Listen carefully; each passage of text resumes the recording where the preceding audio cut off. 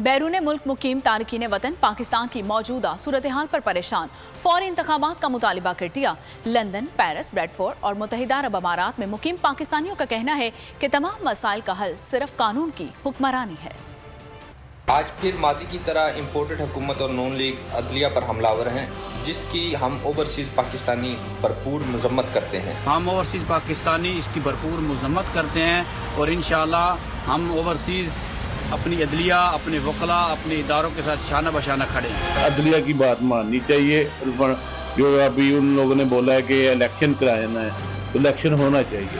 ये ना हमारे मुल्क के कानून की तोहन है सीधी सीधी अदलिया की तोहन है।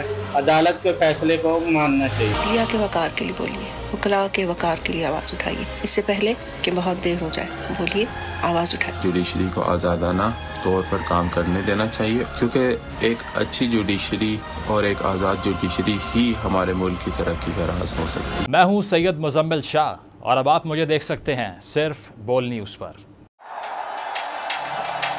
ज़िंदगी एक मैदान है और पी एस एल एट में हर टीम को छूना आसमान है।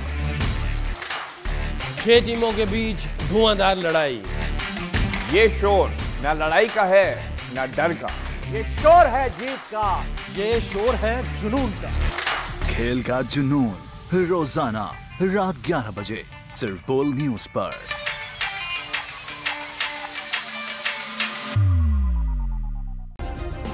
सब्सक्राइब करें और बेल दबाएँ ताकि कोई खबर रह न जाए।